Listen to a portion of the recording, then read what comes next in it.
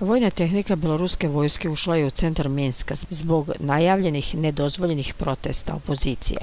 Pored kamiona za prevoz vojnika primećene su i oklopna vozila kao i vodeni topovi za razbijanje demonstracija. Konvoj vojske pratile su brojna policijska vozila, vojnici su mahom raspoređeni ispred rezidencije predsjednika Belorusije. Masovni protesti opozicije počeli su u Belorusiji 9. avgusta nakon predsjedničkih izbora. Prema podacima Centralne izborne komisije na izborima pobedio aktualni predsjednik Aleksandar Lukašenko sa 80,1% osvojenih glasova.